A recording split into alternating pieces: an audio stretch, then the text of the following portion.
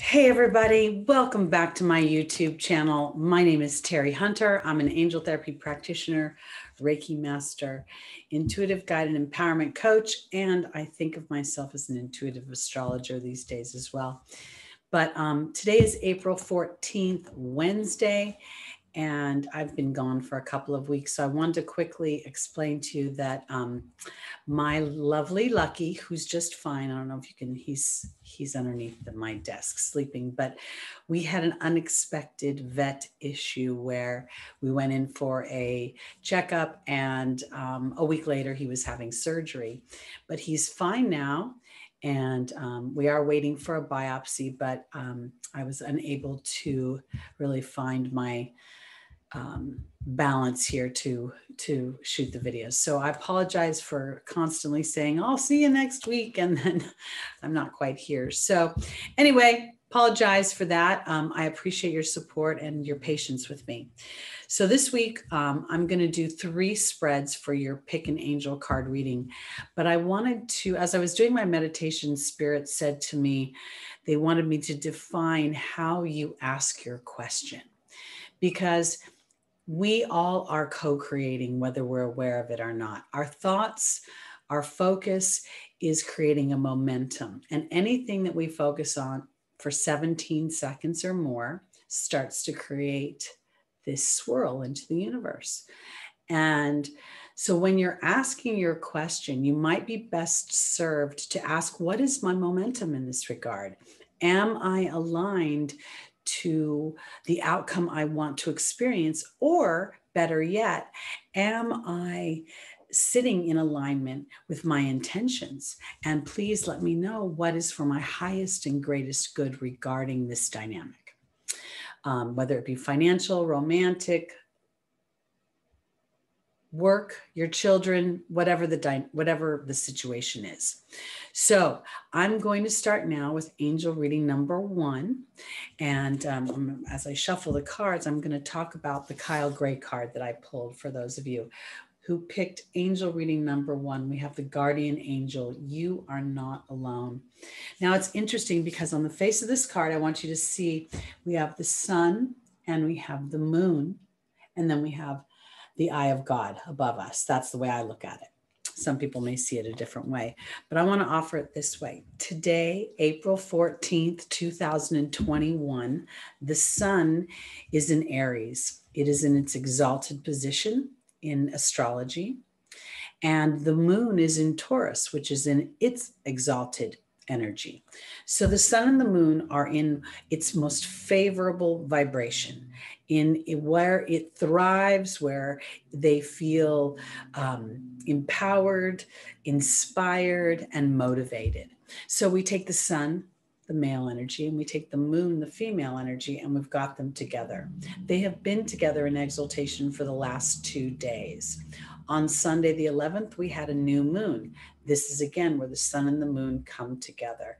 This is a pivotal time to set an intention of co creation that's going to set a dynamic for the next year as we come back to this same spring cycle.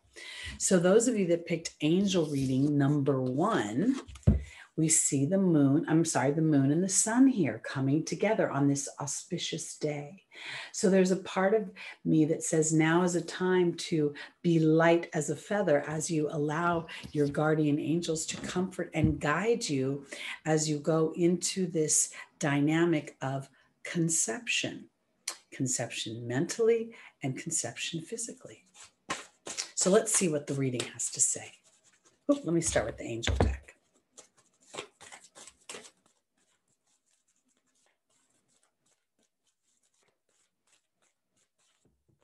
Our first angel, for those of you that picked angel reading number one, is Rosetta. Talks about parenting, guiding children, teaching. Isabella is yes, the timing is right for this new venture. Xana is the angel of protection. And then we have Azure saying your desired outcome will happen in the near future. I find Rosetta an interesting energy because while some of you may be wanting to birth physical children into this world, Um, I also believe it's what we were talking about with the sun and the moon coming together to conceive a new chapter, a new dynamic within your life. And to know that you have evolved into this place because you have spirit support. So Rosetta is being joined by the focus card. Isabella is being joined by the goblin. Xana is being joined by the fire fairy, and Azure is being joined by the burden card. So, this is how we go back to the idea that you are not alone.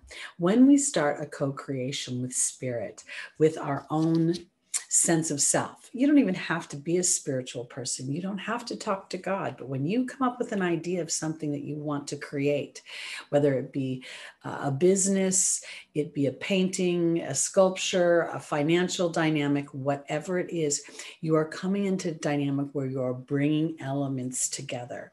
And this is where I feel like it's important for those of you that picked angel reading number one to set yourself into a place where your job right now is to be childlike in your focus. And that focus is on how it will feel when this manifestation has come into place. Because in the angel's advice, I'm sorry, in the opportunity, the obstacle is yes, the timing is right for this new venture. And then we have the ego. And it, you know, on the face of the card, the ego looks wounded and angry, but it is the ego is where our true achievement lives. It's where our sense of exhilaration and accomplishment lives. It's where fear lives. It's where doubt lives. And because of the fear and the doubt, when we are brave enough to be aware of our focus and in some ways not be adult in trying to figure out how that's going to play out, but rather how it will feel when it comes into play, then our ego is working for us because Xana is saying in the angel's advice that you are being protected. And now is a time for optimism. And I want to say the optimism comes because spirit, in many ways, is involved in this co creation and they may be conspiring. AKA working on your behalf. And if you in your physical body try to push forward to the manifestation, you're going to get in the way. Because in the final position is your desired outcome will happen in the near future. Have patience and faith. And the patience and the faith is a burden and the the actual idea of sitting back and giving spirit an opportunity to give you a new experience to inspire you into a new action is a burden but what you want i believe has so much momentum as I spoke to in the beginning of this video, that you will indeed experience what it is you want to your surprise. So, at the beginning of the video, I talked about today, April 14th, 2021, the sun and the moon being in their highest vibrational um, homes and aspects, being in sun in Aries and the moon in Taurus. So, these two ideas of man and woman coming together to create new life in some ways. It is your job, for those of you that picked angel reading number one, to focus in on what the new life feels like, not the road on how you're going to get there, because your past will not necessarily indicate the journey forward. And that's why, in some respects, there's a burden. But you need to know your momentum is such that you feel will be triumphant. All right, let's go on to angel reading number two. So as I shuffle the angel cards, I pulled the magic guardian. And this is unlock the magic within. And um, if you notice, she's holding a bowl. It's a little bit difficult to see because it's kind of within her wing. But I want to offer this because what this says to me is everything is within your emotional body. The cups represent the emotional. So if we're unlocking the magic within, what we're unlocking is the potential and power that resides inherently within the human. And we are a little bit afraid of our power. We have this what if uh, conditioning um, based on outside circumstances. So, as we start to investigate the laws of attraction, the laws of allowing, the laws of the universe, we understand how and why we have the recipe that we have, the mind that we have, the heart that we have, and the idea of the integration of the two, so that the mind may serve the heart rather than the heart be slave to the mind. I hope that made sense because the magic is within your focus. So here in the first position, for those of you that picked angel reading number two, is Archangel Michael asking you to have courage to make the divine life changes. In the opportunity, the obstacle is the patience card, asking you to study and gather information and to observe your own energy. Aurora says you're flying high right now. Don't descend because you will soon inspire others. And then in the final position, we have Mystique telling you to keep charging ahead to expect miraculous solutions. Um, astrologically, we are moving closer and closer into the age of Aquarius, and we have two planets that are residing in Aquarius right now. Aquarius represents the collective, it represents humanity, and many other things. But what I feel like when I'm looking at this is the intellect that Aquarius offers, the scientific mind, and the integration of science and and astrology, the unknown, the, the mystical of energy. Because I feel like as I look at this spread, for those of you that picked angel reading number two, as you connect to your thoughts and you become more aware of the story of yesteryear versus the story of tomorrow, and which story you're telling more often, you'll start seeing things either become repetitive and almost comical because you'll be the common denominator in the situation, or you'll start to see the evidence of your manifestation of what you want. And that will give you the courage to continue on and to know that the magic lies within you, that everything you need is within you. And your willingness to be brave, to let it out. So, joining Archangel Michael is the owl, joining the patience card is the horse, joining Aurora is the earth fairy, and joining Mystique is the movement card. Archangel Michael is the angel of great protection. In this particular deck, though, he represents courage the courage to make the changes that you know will truly make you happy, regardless of whether or not you can see how the outcome will play out. Because what he's saying is that no matter what you look at, if you look at it long enough, you will find wisdom and deception, good and bad, black and white opportunity and obstacle. And so, in being courageous, it's not the absence of fear. It's not the sureness of knowing the road ahead. It's the willingness to walk forward step by step studying and gathering information about your own energy through the process. And in doing so learning how how and when to change directions. And not necessarily to change directions in like jumping off the highway, but maybe it's time to change lanes on the same highway so that you can get more movement. Because Aurora is saying you're flying high right now. Don't descend, that you will soon inspire others because you're creating a new foundation for yourself. I've been telling people, um, in my readings and in my personal private work with other people that many souls more than not are going through an activation right now. And that activation is an opportunity to step into the highest vibration of what they want to experience on this planet. And in doing so, it is not the absence of challenges to get there, but the willingness and the tenacity. And regardless of the age, not allowing yourself to be defined by these prehistoric markers. If you're of a certain age you're not viable. If you you know you're older you can't find love or or a good job. Because i believe that you're breaking these barriers because you're starting to realize that the magic is inside of you and that magic comes from your emotional body and knowing that it will completely replenish constantly filling your cup. Because in the final position is mystique saying to keep charging ahead expect miraculous solutions and there is the movement card. And the movement card says that as the more you step into the magic of your own creation, not the how of it, but how will it feel, then you will start to experience. And the more courage that you display, the more you will bring on experiences that will support the courage that will diminish the disempowering thoughts and turn them into thoughts that empower you. So fear will become a bit of a game you play with yourself. How much fear do I have about this situation? Is my fear viable? Is it current in this present situation, or am I projecting out into the future?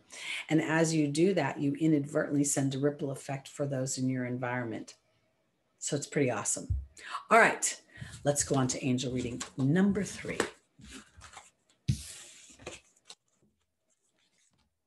For those of you that picked angel reading number three, I pulled the Kyle Gray card, Father Sky, trust in the unknown. And this really represents the connection to the angelic realm. It represents God and the angels. It represents divine wisdom. And I want to offer it this way because Astera just flew out of the deck in the first position, saying to you deserve the best, reach for the stars with your dreams and your desires. Um, I talk a lot about, you know, the astrological aspects and this idea of moving into the age of Aquarius is where science is going to actually prove that thoughts are things and create manifestation. I would not be surprised within the next 20 years or so if there are not studies that back up this energetic dynamic. And I feel like you, those of you that picked angel reading number three, can start to really implement those things because the trust is not in some fairy godmother or father coming down and bestowing you with a bag of money. It comes from a trust of a deeper knowing of your willingness to be brave in looking at your intentions, your focus, your actions, your disposition, and then what you're struggling with, turning over to God to give you a new experience so that you may empower yourself Words don't teach, experience teaches. So as you walk through it, hard times, but you empower yourself over them and you take a minute to reflect on your triumph, you become more and more powerful. Because in the opportunity of the obstacle, Bridget is asking you to look deeper into a situation. Isaiah sits in the angel's uh, advice, asking you to give birth to new ideas. And the final position is again ten- connecting with spirit with your intentions. And I want to say the idea lately that they've shown me, the, the birth to new ideas, is the idea that we evolve. You know, we watch our bodies age, we criticize our wrinkles, our, our rolls, our softening bodies. And yet, when it comes to our emotional body and our, our spiritual bodies, and as we age and we learn, we don't usually give ourselves that much credit for that. Astera is being joined by the cat which to me is nine lives. Bridget is being joined by the high priestess. Isaiah is being joined by the joy card. And Layla's being joined by the truth. For those of you that picked angel reading number three, you have been asking, you have almost been begging spirit for a new situation, a new dynamic, a relief from the stress, the the tension of yesteryear, what wasn't really serving you. And now is a time to reach for the stars with your dreams and desires and to give life to that there are nine lives, maybe more. And your attention to that will stoke it because you literally have to really con- like I feel like those of you that picked angel reading number three have to sort of have a moment and decide how much have I been looking to my past? How much have I been looking to what is darker, more challenging? Bridget's a card of caution. Look deeper. So here I'm thinking, oh no, I'm looking at my past through caution versus trusting the evolved version of what I want for myself because spirit is literally saying and isaiah the angel isaiah is saying it's time to move towards joy and this is not trying to be happy in the midst of not feeling happy, but instead saying, I'm willing to look deeper. Am I really moving towards my happiness? Or have I been so focused on what isn't working that I've got a lot of momentum going there? Because as you become aware of that deeper truth, then spirit has an even bigger opportunity to help you have a new experience, to give life to a new idea of who and what you are in this incarnation. So, this is an opportunity today. I said this for um, uh, one of the other readings. Today, the 14th of April, 2021, is a day where the sun is in Aries and the moon is in Taurus. These two planets are in their exaltation, in their most favorite house, the favorite sign, I should say, their favorite sign. And as a result of that, they are in their most favorable energy to create, man being the sun, woman being the woman coming together. So, taking a moment today or this week to set an intention, to look twice at what that intention is. Am I basing my intention on what I think I can create? Or what is authentically in my heart that I'm unsure that I can create? And then asking God and the angels to give you evidence that that yearning, that heart is valid and that there is um, evidence and that experience is coming down the line for you to, to enjoy. All right. That's it. Me, Teri Hunter. Again, I'm an angel therapy practitioner, Reiki master, intuitive guide, and empowerment coach. And I like to think of myself as an evolutionary astrologer. Um, if you'd like to book a private reading with me, I am available and taking new clients. So you're welcome to um, reach me through the contact information in the description below. And it is my intention to be back next week with another Pick Your Angel card reading. Let's give ourselves two thumbs that that's really going to happen. All right, guys, have a wonderful, wonderful week. Sending lots of love to you all. Bye bye.